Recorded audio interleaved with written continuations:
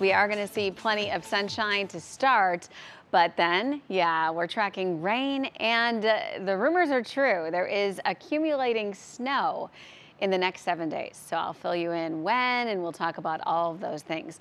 Right now, temperatures are in the 30s and 40s as you're waking up, and hopefully, coffee brewing. Hopefully that weekend was restful and really nice. And this is pretty seasonal for this time of the day. Some of you are a little bit below with clear skies and especially inland where we're seeing some of those low 30s right now. But as we do get a look at the almanac here and just kind of check what's normal, what's not for this time of the year, 61 normal high, 42 the normal low, and we'll hit 65 today. So it is going to be just a few degrees above. Enjoy, because that's going to be changing real fast. Winds are at 5 to 10 miles an hour, sustained right now, and calm inland. They will also increase as we head into the afternoon. Southwest about 10 to 20. So hello Monday, April 19th, and the bright skies to start our timeline showing off that sunshine through about midday, and then we'll start to see more partial sunshine into the afternoon. But it is going to stay dry, so your morning commute, obviously, and into the afternoon too.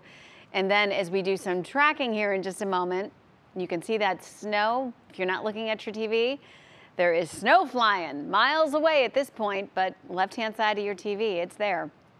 Let's go hour by hour on your National Design Mart forecast. And today looks great. Uh, here's the cloud cover coming in later in the day, but we're in the 60s.